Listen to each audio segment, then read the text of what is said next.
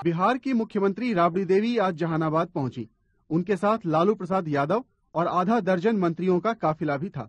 राबड़ी देवी ने यहाँ छह जनसभाओं को संबोधित किया और कहा कि ज़िले के भूमिहीन गरीबों को सरकार ज़मीन देगी ताकि हिंसा खत्म हो सके। जितना यहाँ जहानाबाद में ही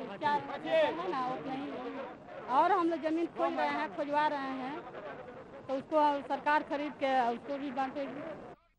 राबड़ी देवी और लालू यादव ने गरीबों और दलितों को भरोसा दिलाया कि सरकार उनकी जानमाल की हिफाजत करेगी और हिंसा के लिए जिम्मेदार उग्रवादी ताकतों का सफाया किया जाएगा। लालू यादव ने दावा किया कि यहाँ के लोग उग्रवाद नहीं चाहते और ये बात साबित करने के लिए आज वो खुद रिपोर्टर भी बन गए।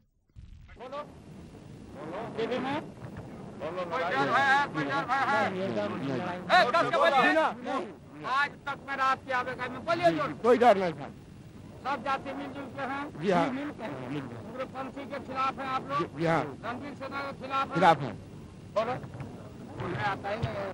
पिछले 45 दिनों में जहानाबाद ज़िले में नरसंहार की चार घटनाओं में करीब 45 लोगों की जानें जा चुकी हैं। नरसंहार की दो बड़ी घटनाओं के बाद ही पिछली 12 फरवरी को केंद्र ने राबड़ी सरकार बर्खास्त कर दी थी।